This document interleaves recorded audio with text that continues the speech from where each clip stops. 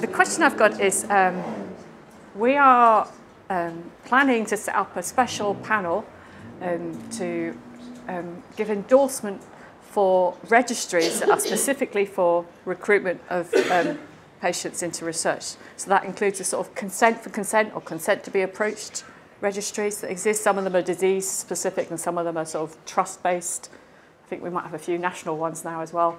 Um, I'm just sitting there thinking, should we be putting cohorts in, into the panel? So the, the, the thing about endorsement is it's not, it's not a requirement. Nobody has, has to come to us um, for, for endorsement. But the beauty of having the endorsement is that when you take individual studies to a REC, they won't look at the recruitment process again um, because it's already been sort of endorsed by the HRA. Um, so they would just look at the study but not ask questions about how the patients are going to be recruited because that bit has already been covered in the endorsement. So would it make sense to take cohorts in, into the endorsement process of this panel? I can, I can see for something like you know the South Yorkshire cohort where you've got a very big cohort and you're going to be doing multiple studies over time, it could make a lot of sense. And maybe for some other smaller ones, it wouldn't make any sense. I don't know. So open that up.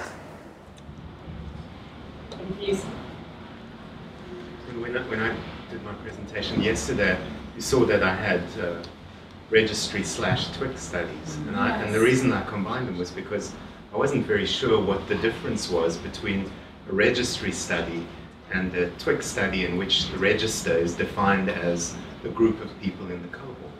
Mm. I'm not sure, I couldn't find the difference. There's starting to be a crossover, isn't there, I think?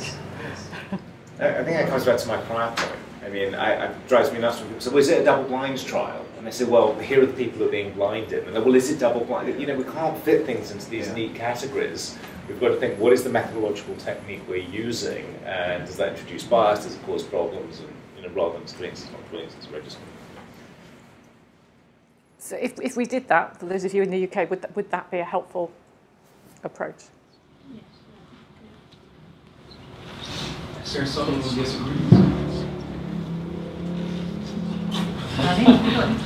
Well, I think lots of people are thinking about setting um, cohorts up that are open-ended in terms of there's not a finite number of RCTs they're planning. For those people, it's clearly advantageous to have a time uh, endorsement. Okay.